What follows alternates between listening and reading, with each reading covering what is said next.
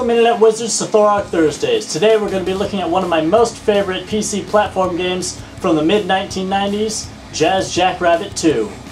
The original Jazz Jackrabbit was released in 1994 on PCs running DOS, and later a 1995 release compatible with Microsoft Windows.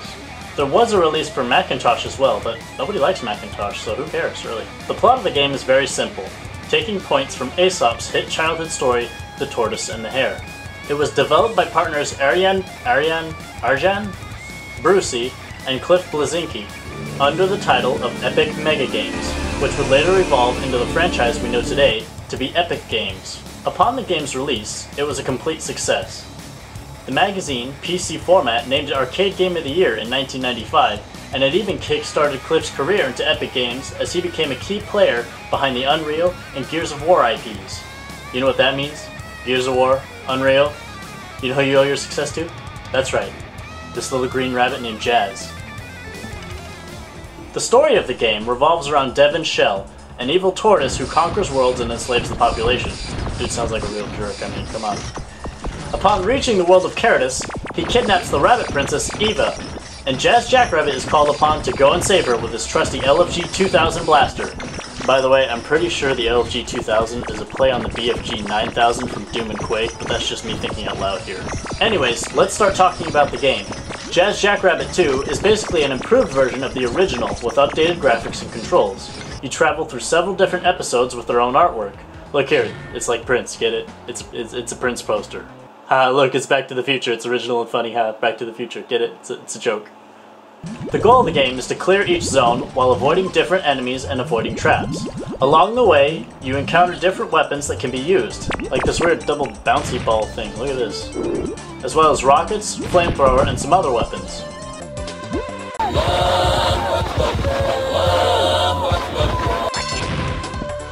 You can also encounter power-ups in the later episodes for these weapons, in which you have to break a TV with the upgrade inside. Don't ask. I don't know why they went with breaking a TV, but that, that's the way you do it. You break a TV and you get the power up. Woo! Sometimes, you will encounter a TV with one of these on it. When you break it, you find yourself transformed into this odd, red, creepy-looking rabbit named Spaz.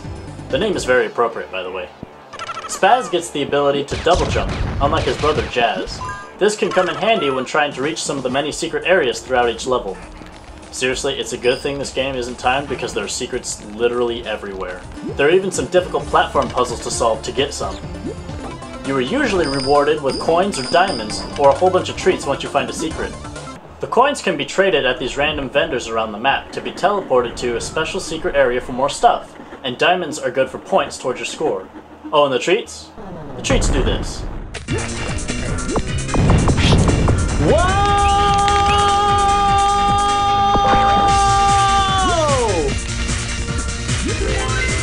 Uh, basically, they make you invincible. Hey, what's this? A birdcage? Well, I mean, why not? Have you seen the enemies you're fighting? I mean, the boss for this stage is literally another rabbit that screams at you and makes the roof cave in by stomping. Rude.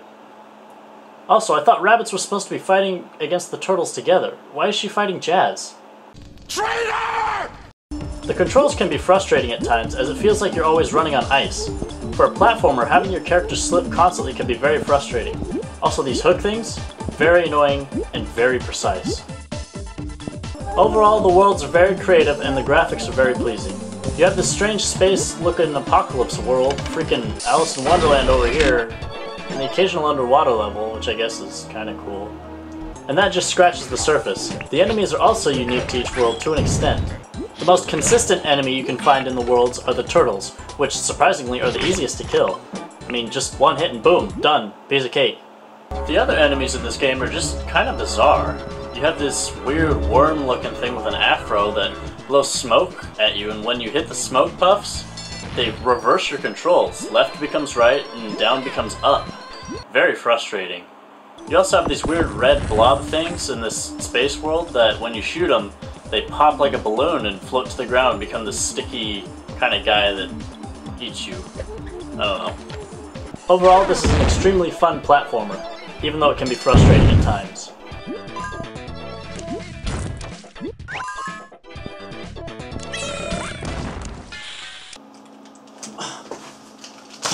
No, I'm done. Freaking Janky freaking keyboard. Look at this, it's got this old style pin connector. It's friggin' garbage.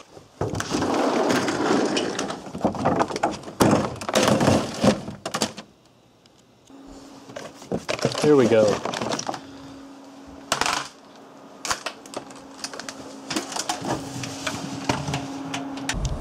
Mr. Bleszinski, this is a wonderful set of games that are very near and dear to my childhood. Thank you for all your hard work, and I can't wait to see what you put out next. Thanks everyone for watching. If you enjoyed this video, be sure to like it and subscribe to the channel so you can get more content like this every week. Also, make sure you check out some of our other videos made by my friends Hoover and Pete.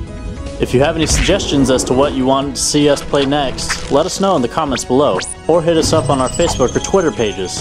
Thanks, have a great day.